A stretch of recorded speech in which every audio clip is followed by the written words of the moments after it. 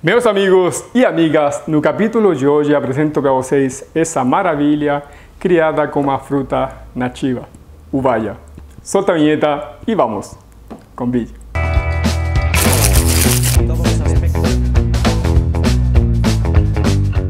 Bem-vindos novamente amigos e amigas aqui a Coquetel Channel, muito prazer, eu sou Puma Ricardo Fuensalida e hoje vamos continuar essa produção de vídeo com ingredientes brasileiros. Já foi apresentado a caipirinha de jabuticaba, talvez já foi apresentado o coquetel com jabuticaba e hoje vamos pular para uma outra frutinha típica brasileira. É, diretamente aqui da Mata Atlântica temos aqui uvaia, ou uvaia também, depende aí de como se conhece. É uma pequena frutinha que parece, assemelha muito a um damasco e assemelha muito a um pêssego, né? Aqueles pêssegos de exportação, normalmente, pelo menos no meu país. É, a textura parece um mini pêssego ou mini durazno, se, não, se você não olha da Espanha, seria um albaricoque, só para fazer a junção e tentar passar o que seria. Mas esse frutinha tem um sabor bem diferente do que seria um pêssego, né? Acho fantástica. Felizmente aqui na nossa agência temos o privilégio de ter três frutinhas, como vocês viram aí na entrada do vídeo. E, bom, apresentaremos um coquetel, né? Vamos tornar isso aqui um bom coquetel. E esse coquetel vai seguir aí uma linha mais ou menos de um Collins, sabe?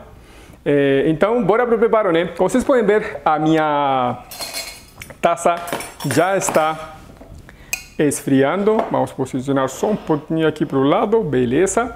E vamos colocar aqui uns seis. Esses aqui dois são maiores, três, quatro, cinco e esse aqui é maior.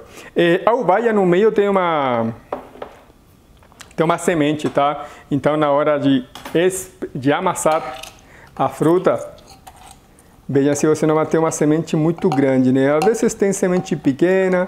Felizmente aqui tem uma semente, ó, deixa eu te mostrar aqui a semente só para caso você não conheça essa belezinha, tá? Uma sementinha aqui no meio. Então, bom, já temos aqui nossa ovaia amassada. Já conseguimos tirar bem a polpa dela. Não precisa tirar a semente antes, porque a gente vai fazer uma coagem dupla para servir esse nosso coquetel. Meu, que frutinha cheirosa, gente. Se vocês têm nas suas casas, aproveitem de melhor maneira, que é fantástico, tá? Para esse coquetel, vamos utilizar um xarope de mel. O vaia já é levemente doce, mais astringente do que doce, pelo menos no meu paladar.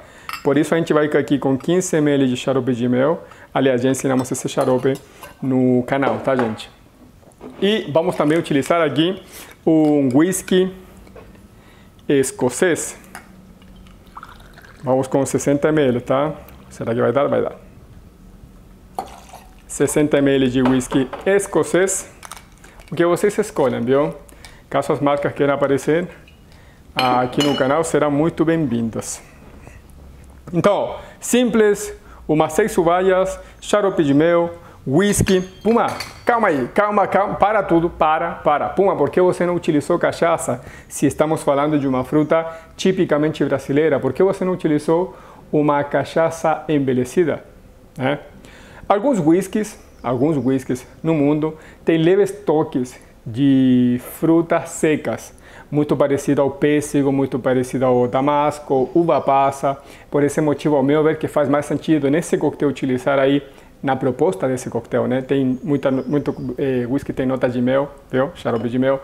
É assim que começa a se construir uma boa coquetelaria, viu? Pensando em cada ingrediente, cada junção que pode chegar a concretizar no resultado de um bom coquetel, beleza? Ah, Puma, não tenho whisky, posso utilizar uma cachaça envelhecida? Vai e seja feliz, tá? Feito isso, vamos aqui incorporar pedrinha de gelo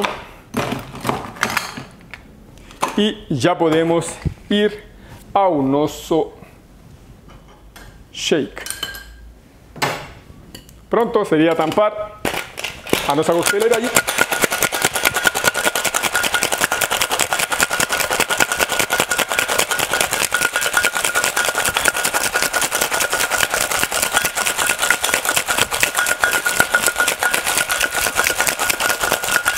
Pronto, shake. Bota energia, viu? E sorria sempre. Bom, temos aqui nossa taça, vamos tirar o excesso aqui de líquido da mesma, porque sempre que a gente coloca para resfriar, ela acaba soltando água, normal, um processo normal. E agora, com a ajuda de um strainer e uma peneira fina, já podemos servir. A uvaia tem uma textura um pouquinho mais densa, então vai demorar um pouquinho para descer, tá? Normal, não se assusta. Ai meu Deus, o meu coquetel não está descendo. Não, não tem nada disso. E a cor que a gente consegue é bem, bem, bem bonita. Felizmente dessa vez desceu rápido, viu? Outra vez que eu fiz,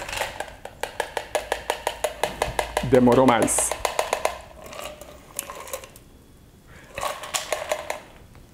Hop, hop, hop, hop, hop, hop. E aqui temos basicamente aí uma uma versão de Bellini, né? Se vocês querem um pouquinho mais cítrico esse coquetel, talvez você encontre muito doce para o seu paladar, a uvaia já, é, já tem uma astringência boa.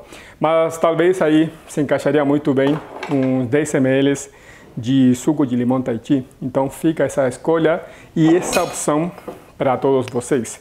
E vamos finalizar aqui com Prosecco. Bolinha de Prosecco aparecendo aqui. Prontinho. Vamos já pegar nossa bailarina, misturar levemente e conseguimos assim um coquetel que parecer, parece né, ter aí a textura de um lindo Bellini, que vai super, super bem nas nossas preparações, viu? E para finalizar nossa receita e dar um contraste aí de cores, vamos pegar uma folhinha de hortelã, que aliás, acredito que já saiu o vídeo de como deixar sua hortelã bem bonita sempre, tá? Ó, só um talinho de hortelã. E vamos também pegar um espetinho de uvaia, ó.